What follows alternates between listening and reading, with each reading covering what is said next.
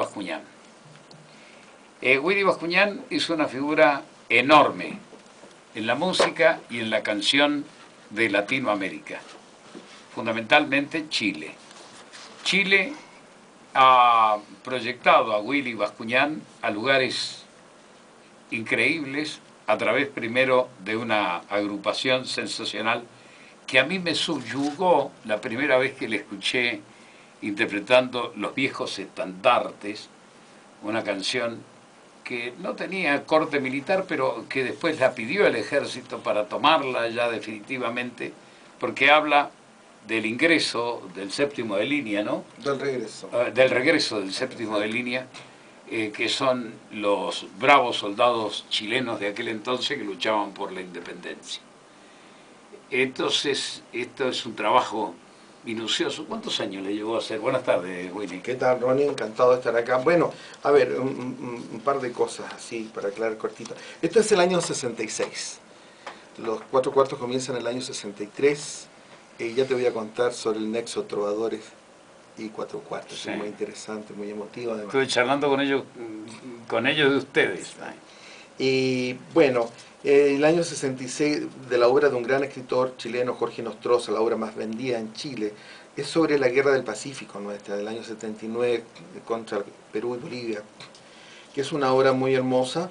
Eh, hicimos una, hice yo prácticamente con, con Jorge, las canciones que se llamaba Dios al séptimo de línea, la obra de él, y estas canciones las grabamos con los cuatro cuartos, que era un grupo folclórico. Y entre ellos él me pidió que fuera una marcha, es el regreso de las fuerzas ya cuando vuelven a, Chile, después de ir de Santiago a Lima, en esa época, el año 79, miles y miles de kilómetros llegar allá bueno, y volver. Entonces eh, esta marcha eh, fue un éxito muy grande en los rankings radiales del año 66. Los Beatles cuarto, tercero y no nos pasaron nunca no sé, caló muy fuerte porque la obra era muy querida por la gente, esta, eh, es una parte de nuestra historia que la gente la siente muy adentro, es cuando la, la, nación se muestra tal cual es. Y con el año después, 10 años, 12 años después, el ejército pidió que fuese este el himno del ejército. Así que, amigo, cuando vaya a mi funeral me van a enterrar con eso, creo yo, uh -huh. no con otra cosa. Qué bueno. ¿Y es cuánto tiempo les lleva a ustedes armar esta canción? No, yo me demoré bastante poco en hacer la música, lo que me costó más fue sacarle las letras, porque hizo las letras Jorge Nostroza, y era un tipo muy ocupado, muy entretenido. Eh, él hizo las letras, me permitió cambiarlas, entonces yo, a mí no me conocía nadie, en mi casa me conocían en esa época, yo era apenas un integrante de este grupo. Y Jorge era una figura muy importante. Hicimos esto, yo creo que en un año sacamos esta obra prácticamente, un año de trabajo y, y estuvo ya el disco. Porque lo difícil es colocarle música donde no hay instrumentos, ¿no?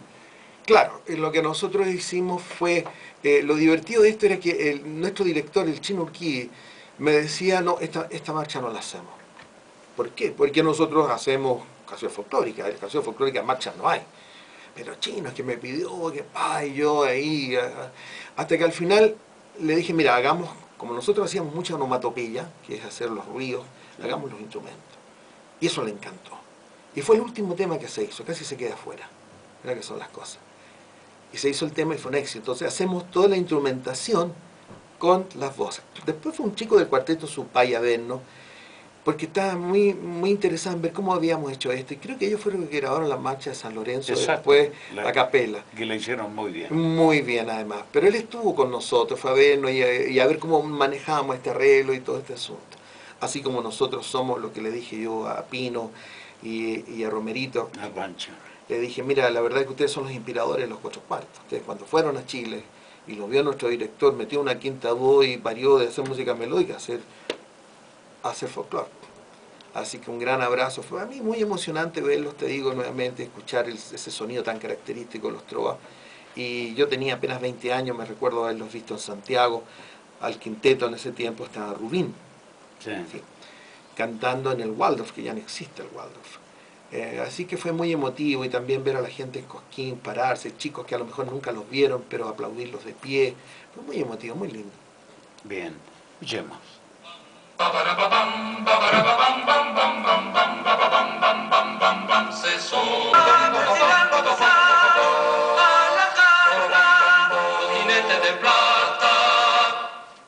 Ahí está. Eso es. Es emocionante escucharlo, ¿no?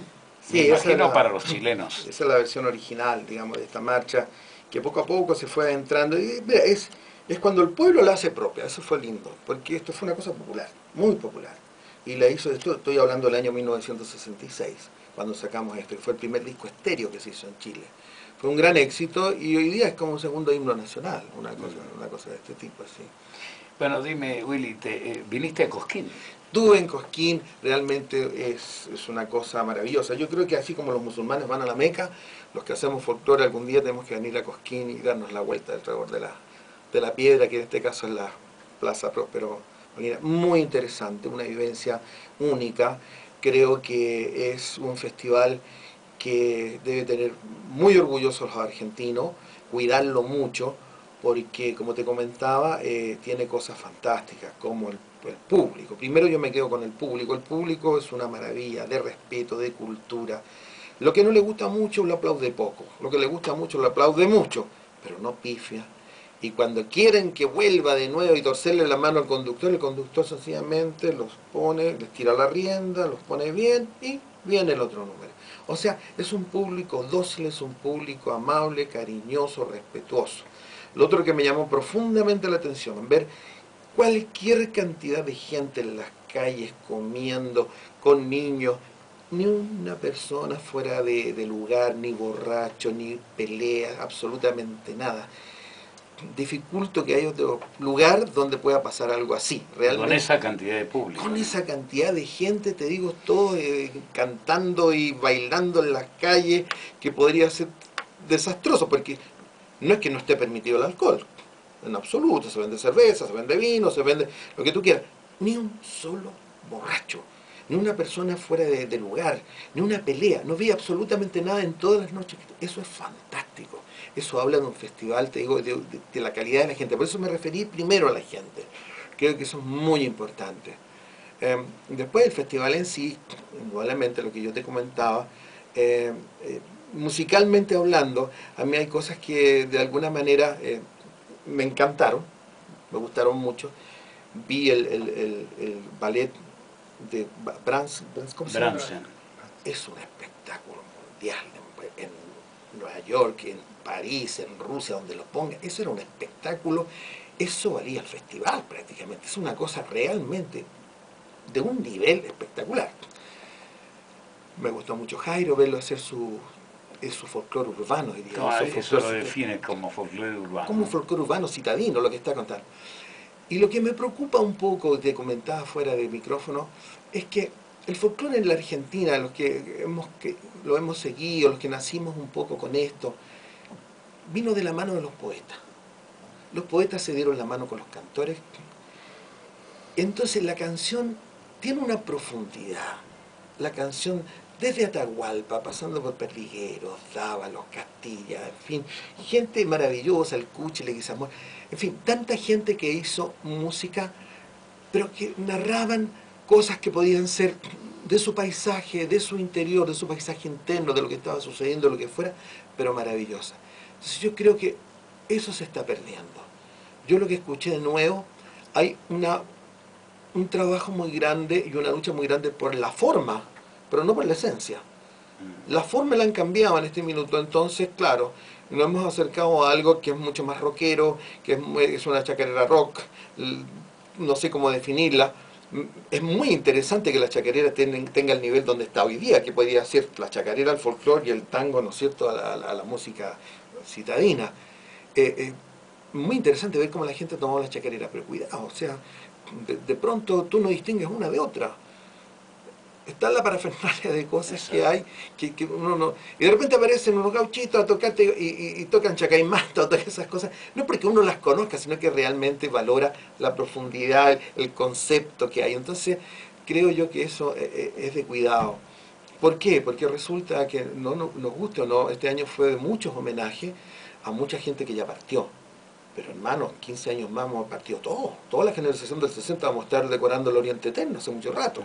Entonces, esta generación de recambio que viene, esta generación que viene, que es importante, que vienen buscando un formato, hay algunos que se acercan más, otros se acercan menos, pero ahí está la intención deben tomarse de la mano de los poetas nuevamente.